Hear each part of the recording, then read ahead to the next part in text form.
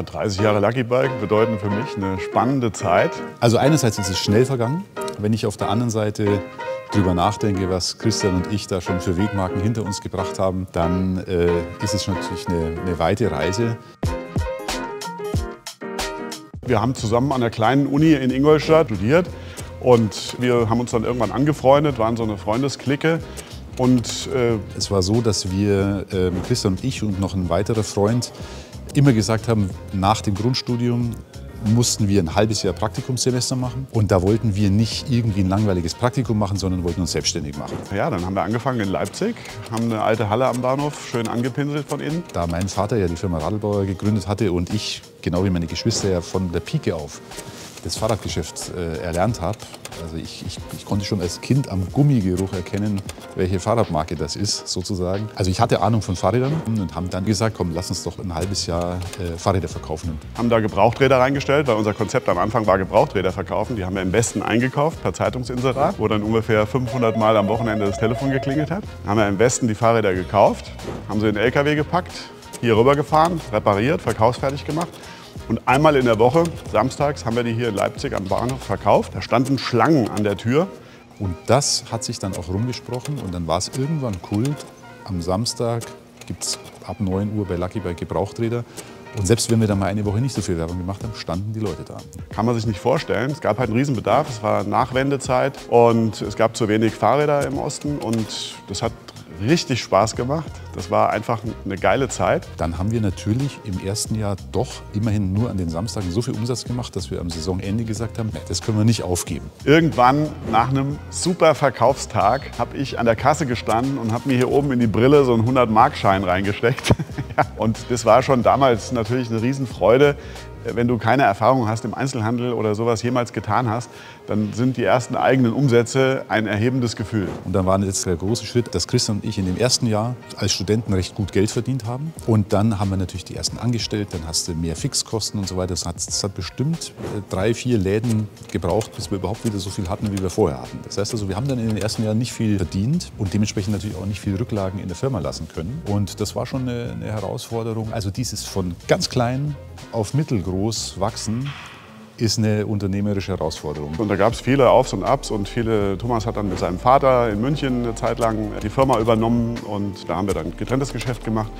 Und jetzt haben wir es vor zehn Jahren oder so, haben wir uns wieder zusammengefunden, alles unter ein Dach gepackt. Und dann gab es einen weiteren wirklichen Knackpunkt in der Lucky Bike Geschichte.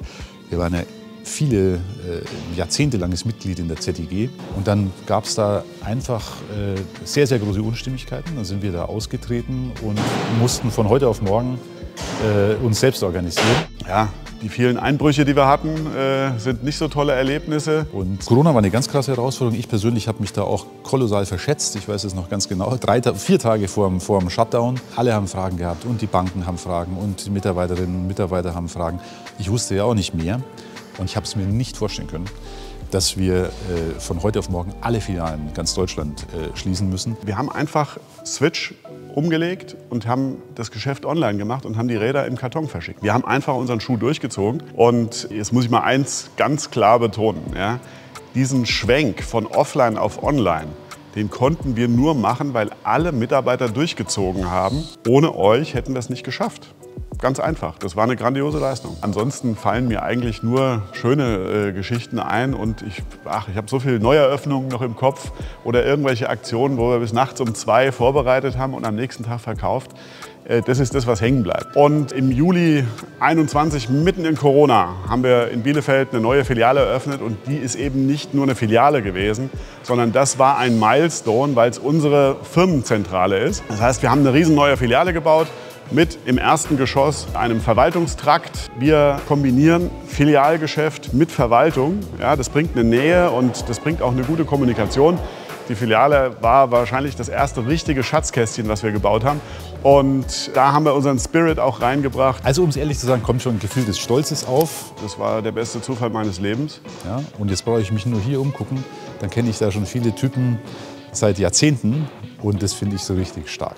Naja, letzten Endes ist es fast immer noch so, dass jede Filiale für sich eine Art Familie darstellt ja, und die dann auch in ihrer Freizeit was zusammen machen und äh, einfach einen Spirit haben, den es, glaube ich, im Einzelhandel nicht so sehr oft gibt. Und wir versuchen, trotz Filialwachstum, den Familienspirit äh, und den Bezug der Geschäftsführung und der Leitungsebene zu den Filialen und zu den Mitarbeitern aufrechtzuerhalten.